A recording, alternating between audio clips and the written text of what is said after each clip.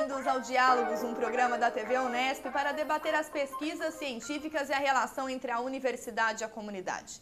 Nesta temporada, nós recebemos professores de universidades europeias e brasileiras que participaram do Congresso do Instituto de Estudos Brasil-Europa, o IBE. Realizado aqui na Universidade Federal de Santa Catarina, em Florianópolis, o congresso tem como tema inovação, cultura e sustentabilidade desafios para o Brasil e a Europa.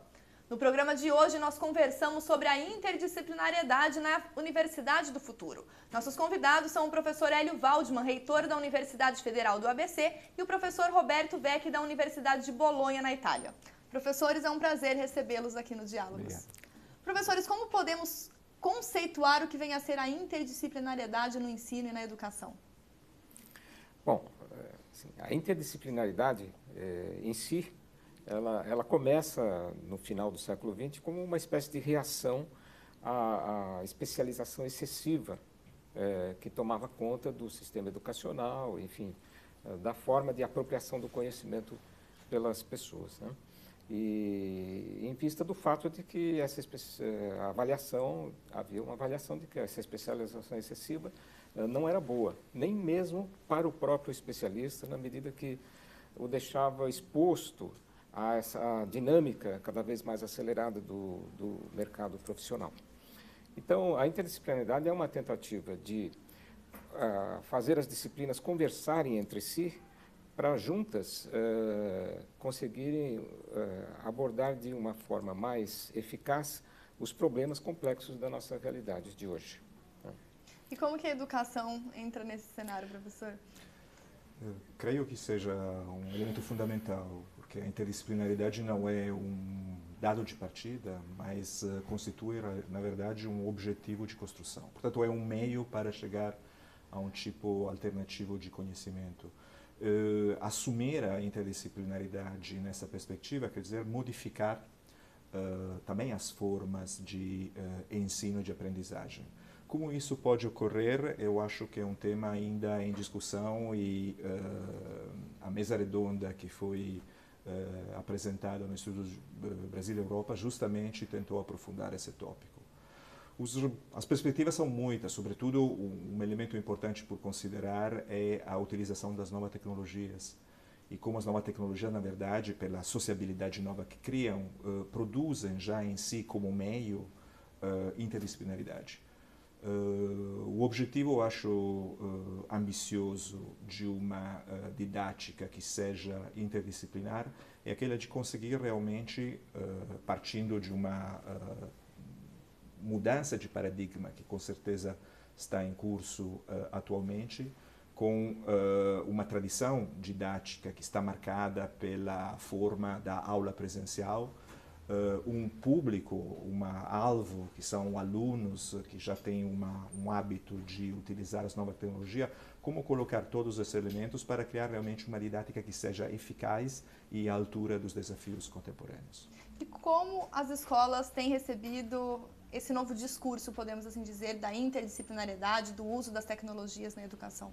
Eh, na Europa, acho que é interessante distinguir eh, aqui entre os dois mundos, porque há diferenças, acho, em termos uh, interdisciplinaridade que, declinado na Europa ou declinado no Brasil, possui sentidos e conotações diferentes. Na Europa ainda é um desafio por enfrentar, porque existe uma tradição, sobretudo acadêmica, fortemente disciplinar, fortemente focalizada todas as atividades, a própria estruturação da didática, a própria definição das carreiras uh, universitárias, são baseadas na ideia de disciplina. Portanto, a, a, interdisciplinaridade, mesmo que seja a forma que melhor descreva a transformação dos saberes em curso, é ainda um tópico relativamente abstrato. Claro que há muitos projetos não é, que tentam uh, conjugar esse novo elemento a partir sobretudo da utilização das novas tecnologias. Mas eu creio que na Europa ainda tem que ser dado um salto para ir além de uma estrutura que é ainda fortemente disciplinar. E aqui no Brasil, professor? Bom, aqui no Brasil, a, a interdisciplinaridade uh, no ensino superior é, é, é abordada pelo país, é, inicialmente em 2006, com a criação da universidade que eu dirijo atualmente, a Universidade Federal do ABC, que é, foi criada como uma universidade interdisciplinar. é uma universidade que não tem departamentos, essa é uma estratégia para tentar eliminar as barreiras entre as disciplinas, para que elas possam conversar entre si, e, e que pra, procura dar os primeiros passos para esse mundo desconhecido, que é o mundo da interdisciplinaridade. É, ela está mais, uh, depois da, da criação dessa universidade, que é caracterizada pela oferta de pelo fato de que o aluno, ao sair, vir do ensino médio e entrar na universidade, ele entra necessariamente num bacharelado interdisciplinar.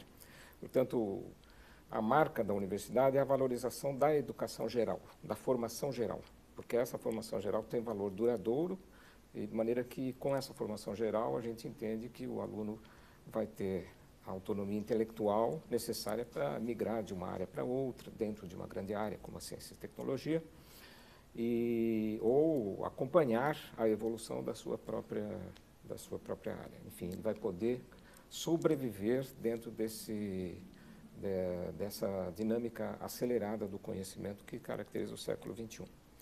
Agora, a, a partir da criação da, da UFABC e dos seus bacharelados interdisciplinares, esse conceito vem sendo adotado por outras universidades, principalmente universidades federais e de maneira que isso está crescendo, mas eu diria que neste momento isso ainda tem no Brasil uma escala experimental, porque mais de 90% do sistema ainda está no formato tradicional.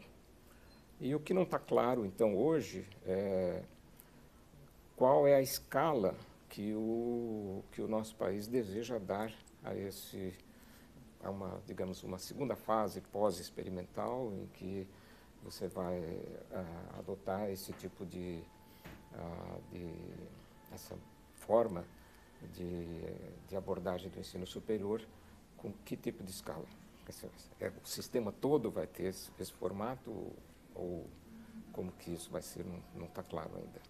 E um pouco sobre como clarear essas ideias e como que as tecnologias têm impactado na educação, nós conversamos daqui a pouco. O Diálogos Especial Instituto de Estudos Brasil-Europa vai para um breve intervalo. Não saia daí.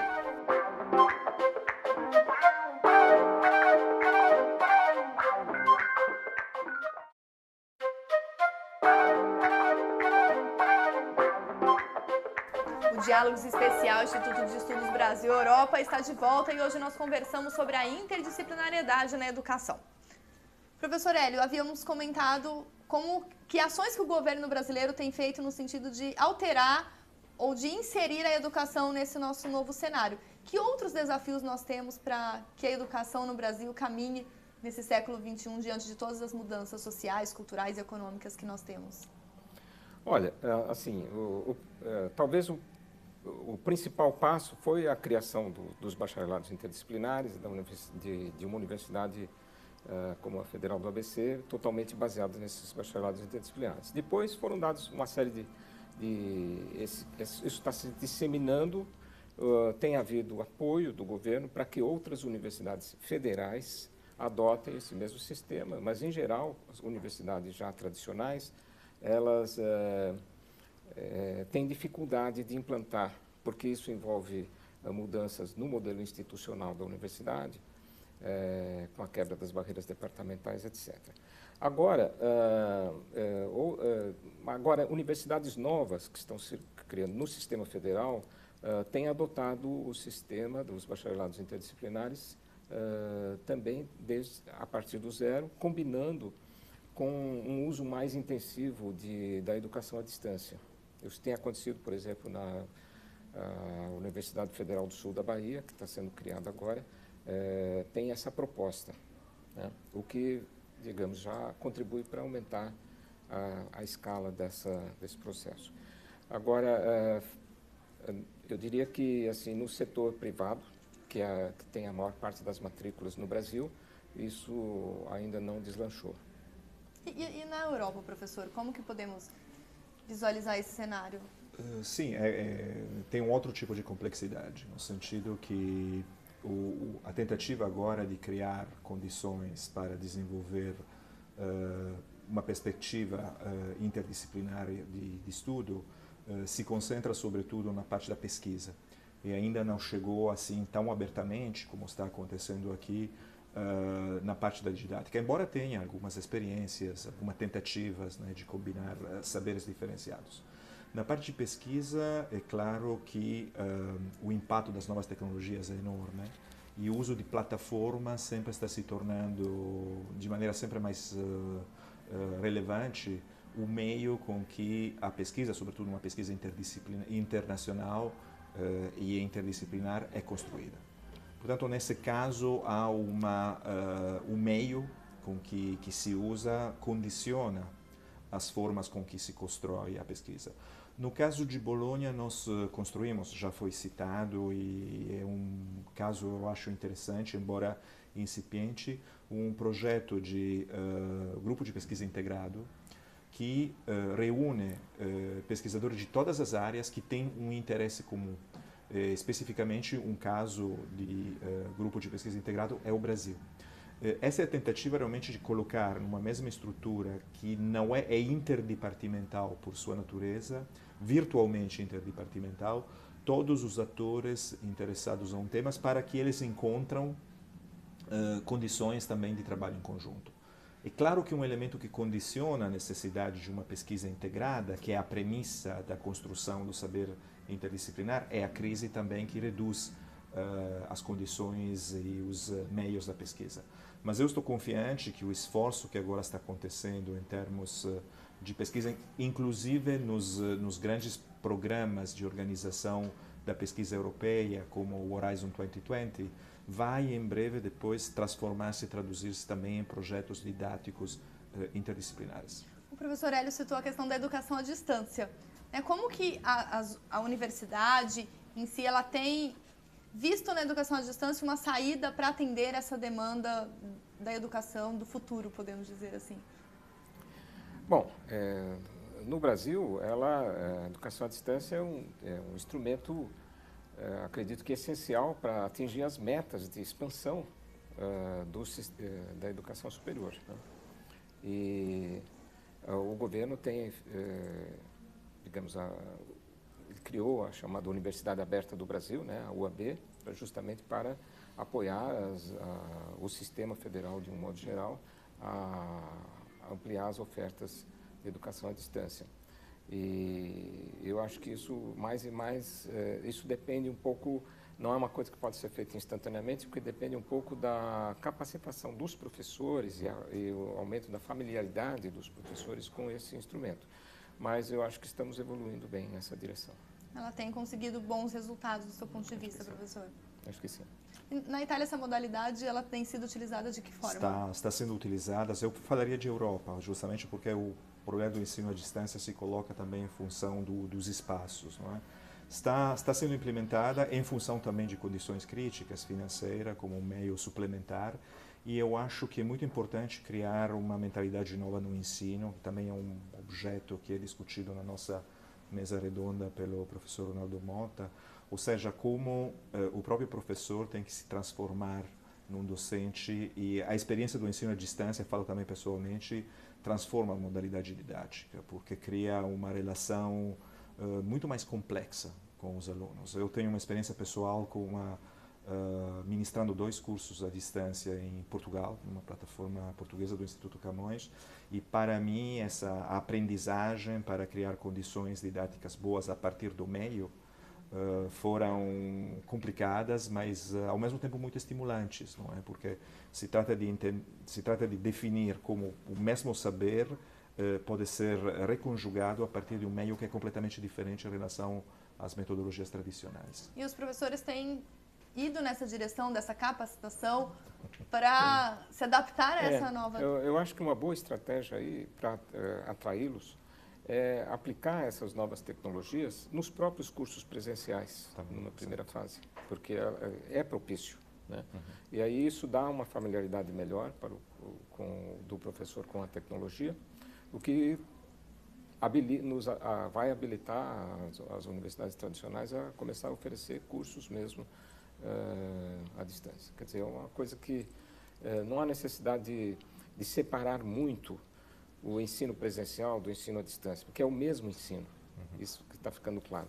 E que, portanto, são simplesmente maneiras, eh, metodologias diferentes para oferecer o mesmo produto, que é o conhecimento, né? é a e, formação.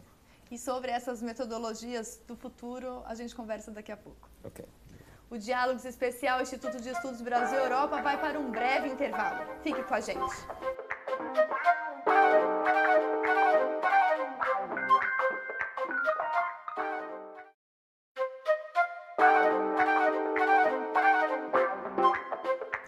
de volta com o Diálogos Especial Instituto de Estudos Brasil-Europa. Hoje, nossos convidados são o reitor da Universidade Federal do ABC, Hélio Waldman, e o professor da Universidade de Bolonha, na Itália, Roberto Vecchi. Professores, comentamos sobre os desafios da educação nesse século XXI e a educação à distância se apresenta enquanto uma modalidade, uma metodologia diferenciada, mas a grande questão é como adaptar as tecnologias dentro do modo presencial de ensino que é tido como tradicional. Qual que é o grande desafio? Por que, que ainda há algumas barreiras a serem transpostas quando queremos levar a tecnologia e até mesmo a mídia para a sala de aula? Bom, esse é um tema complexo também porque acho que tem muitas implicações que são não só de tipo empírico, mas também de tipo conceitual ou filosófico. Não é como usar as novas tecnologias. O primeiro elemento fundamental para mim é que as tecnologias são meios, não são um fim e são um meio que potencializa o que já existe, não é? Portanto, também eh, devem ser utilizadas justamente para valorizar uma oferta que já é sólida e constituída. Portanto, é, isso já uh, muda a percepção. Do ponto de vista europeu, eu acho que uh, sempre mais, sobretudo a presença de internet na, na, na, na própria organização e construção das relações uh, didáticas, uh, se tornou uma modalidade que é útil. Há casos em que a própria internet se torna a ferramenta com que o, o curso se realiza. Uh, por exemplo, em vários cursos, justamente conjugando, como o professor uh, disse, a modalidade presencial com a modalidade à distância, seja, mostrando que, na verdade, a diferença é uma diferença de meios, não é? mas não de substância. Ou seja, há curso onde a construção, por exemplo, de um blog ou de um sítio, ou de um site, ou de uma ou de uma página web é o resultado, é o output de uma experiência didática. É claro que se trata de experiências que devem ser ainda uh, promovidas. Acho que existe um problema de uh, digital divide, por um lado, e de analfabetismo digital, pelo outro. Isso nos dois lados da relação didática, professores e alunos mas eu acho que a força desse meio vai conseguir realmente reduzir ao máximo essa, essa, essa dívida e criar condições uh, ideais para o desenvolvimento de uh, projetos didáticos alternativos. Como que o senhor vê aqui no Brasil? É, bom, eu vejo assim, os alunos em geral são nativos digitais e os professores não, eles são imigrantes esse, desse mundo digital. Isso gera um, uma certa dificuldade transitória, na verdade. Né? Uh, por outro lado, a tecnologia ainda está num estágio um pouco fluido, dinâmico, né? Enfim, é mais ou menos assim, é como se fosse um novo tipo de livro, né? E que está surgindo agora e as pessoas eh, que estão as mais tradicionais têm um pouco de dificuldade de se familiarizar, mas essas dificuldades vão ser é, superadas, acho que facilmente, pelo, justamente pelo desenvolvimento da, da tecnologia e a adoção e a presença cada vez maior das novas gerações que são nativas digitais.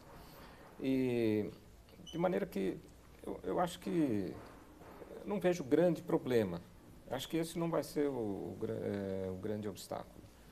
É, eu tenho a impressão que no Brasil essas tecnologias têm um campo fértil para se desenvolver justamente porque nós temos um problema de expansão do sistema. Né? Então, acredito que é, eu vejo com, com otimismo a adoção das novas tecnologias. Agora, o que acontece é que é, nós não podemos nos iludir. As tecnologias não dispensam o, o uso, a, a presença do professor.